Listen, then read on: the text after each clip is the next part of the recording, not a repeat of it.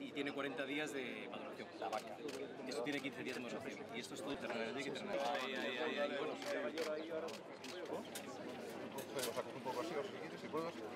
Y es realmente curioso. tiene, tiene un poquito picante algo. Lo saco un poco así, os quieres, si. Y es realmente curioso. tiene, tiene un poquito picante al final. Pica un poco menos por normal, ¿no? Sí, no es, no es como un rojo picante. Sí, allí en lo del pulpo puede probar. A ver, os digo, riego cada 15 días con leche. Sí, no. ¿Cómo estamos? Muy bueno. ¿Qué tal? Te invitamos a, a que lo pruebes. ¿Ah, sí? Mira, esto es innovación, ¿no? ¿Eso qué tengo? ¿Qué o no? Pimentón del pimentón. Ah, con pimentón de padrón. Sí, sí.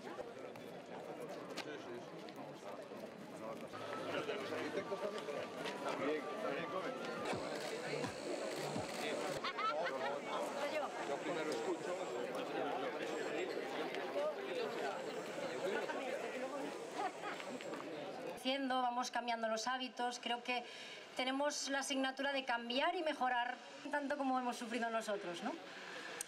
Y para eso tenemos que ir después de este pequeño tentempié y un poquito más a la sombra. Galicia es un territorio magnético, un territorio maravilloso gastronómicamente hablando, por su gente, por su hospitalidad, por su amabilidad, pero sobre todo por su cocina, sus productos y la gente que hace posible esos productos que están aquí representados. Todo de aquí vienen con, con una gran actitud por disfrutar de esto. En primer lugar, buenas tardes a todos. En segundo lugar, muchas gracias por venir. A hablar después de Lucía Freitas o de Joan Roca. Prendes. Sabía yo que venía el alcalde Prendes, coño. Guaje.